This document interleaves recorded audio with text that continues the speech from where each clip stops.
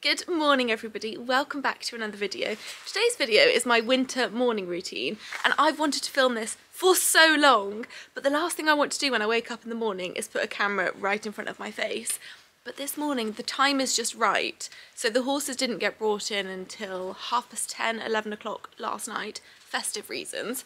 So this morning I've had a lion, they've had a lion, it's now nine o'clock. It's light, it's bright, I've had chance to wake up, have a couple of cups of coffee, do my face a little bit. It was just the right time. So let's get into it. I will just say, I will just say that this routine isn't by any means set in stone. It always changes. I mean, they're horses. Things go wrong. Things change. We, we adapt, we improvise, we overcome. First things first, we're going to put some gloves on.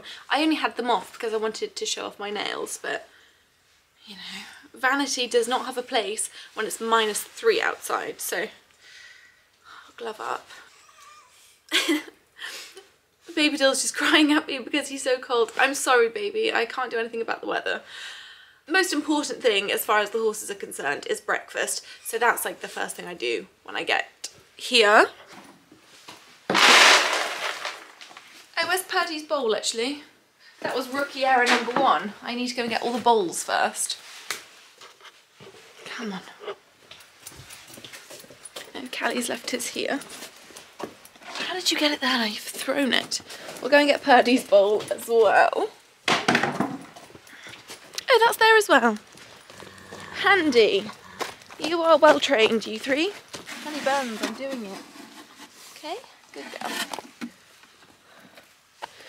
Right. So first step, make sure you have all of your buckets at the ready because you can't put the feed into them if you haven't got them obviously. So I'm just waiting for those to soak now. The horses are so impatient, understandably, whilst we are waiting for them to soak. And when the water's this cold, it takes ages for it to absorb. So, you know, in the summer, it's like a couple of minutes and they can have it. And now it's like a full five minutes, six minutes. Patience. It's not, how do you explain that to them? So McAlester has his feed there just because he takes so long to eat it and it means that I've got chance then to muck out his stable and he'll make a mess so at least he can eat it off the floor later on. Billy has his in his stable. Um, he eats very quickly so that's probably nearly finished. Yep.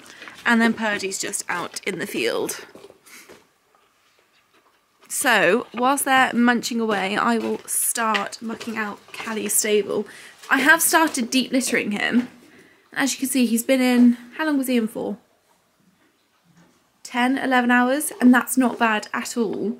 And it shouldn't take long to muck out. Hopefully. Hopefully.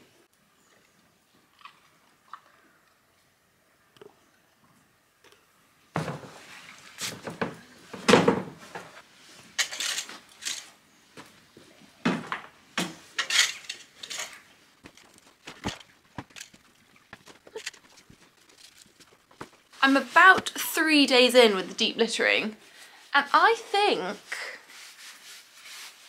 I do have a feeling this is going to be the one.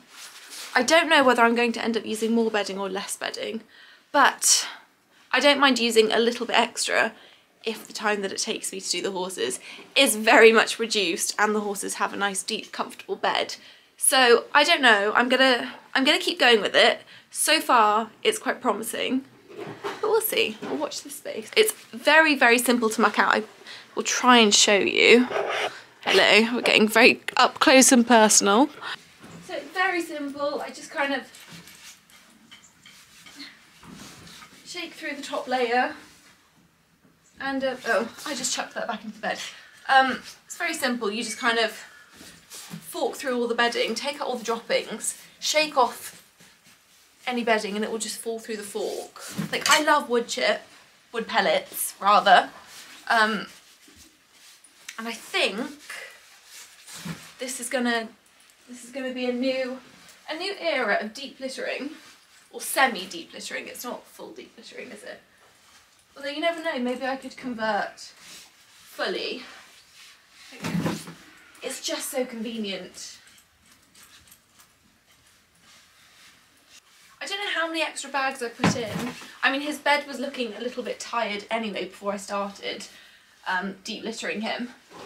Um, so I think I started with three extra bags of wood pellets and then the first day that I deep littered, when I went to muck out that morning, um, there was still a little bit of wet that had risen to the top and I saw on a forum, I think it was the Horse and Hound forum, that if that happens, that means that you just need to use more bedding. So that's what I did. I put another bag in yesterday and so far this morning it does look all right. So um, yeah.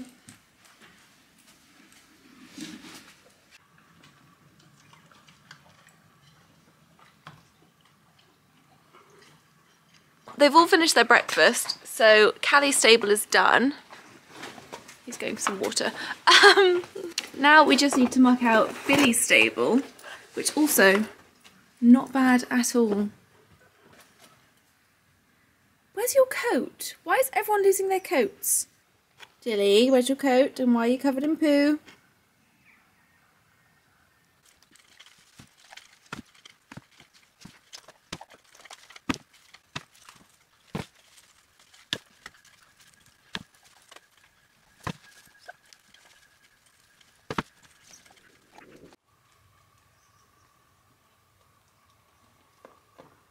Um, it's suddenly gone very dark. I think we're about to have a snowstorm or something. Look at me getting adventurous with my weather predictions. I got it right in one video. But it does feel something has changed. I was in the middle of mucking out and I just felt it all go dark.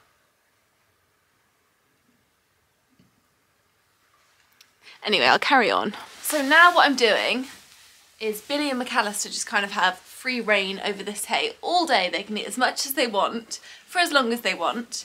Um, but Perdy, obviously, she's in the paddock. So I take her some hay and um, then I'll put some hay in their stables as well, all ready for tonight. So that all I need to do tonight is bring them in, feed them and pick their feet out. Um, so we'll go and give this to Miss Perdy.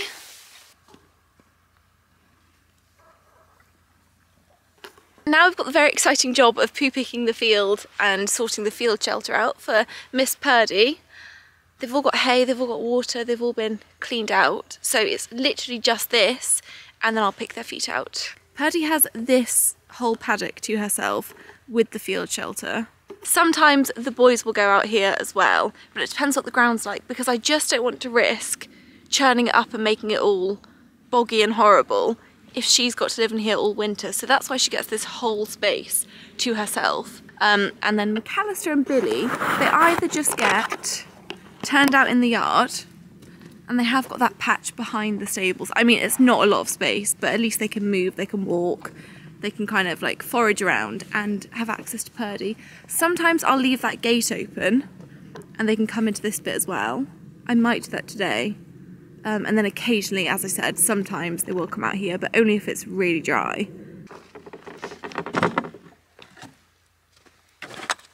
Oh. Rock solid.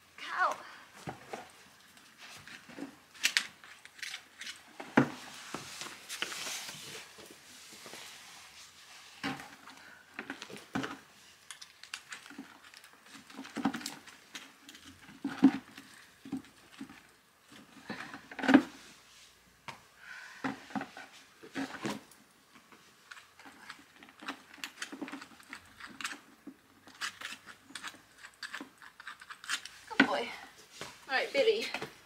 Billy, Billy. Good girl.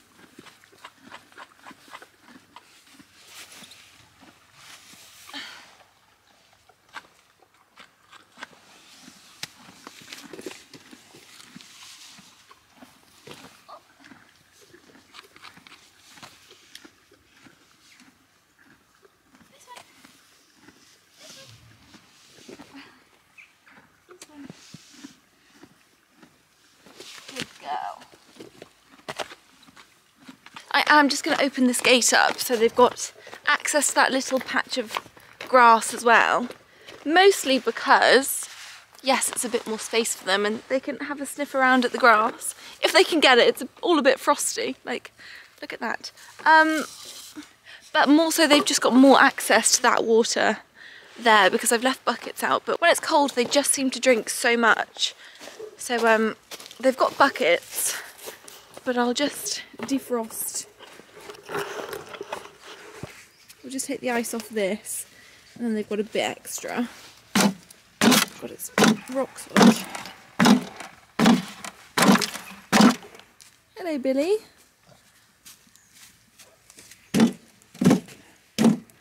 So we're all done. We've got Perdy with her hay, her water, and a nice poo-picked field, and a clean field shelter. And then the boys have got this tiny little patch, and then access to this, and as much hay as they like. So, all in all, job well done.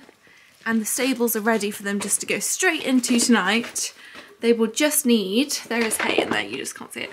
Um, they will just need their feet picking out and some hard feed. That's it, that's my morning routine. It obviously has taken me quite a while this morning because I've been faffing around filming this video and trying to film a little one for TikTok as well. So um, it's probably taken me about an hour and a half, but normally 40 minutes, 45 minutes for three horses it's not too bad, I don't think. So yes, I'm going to go and thaw out. As always, thank you for watching and I'll see you in the next one.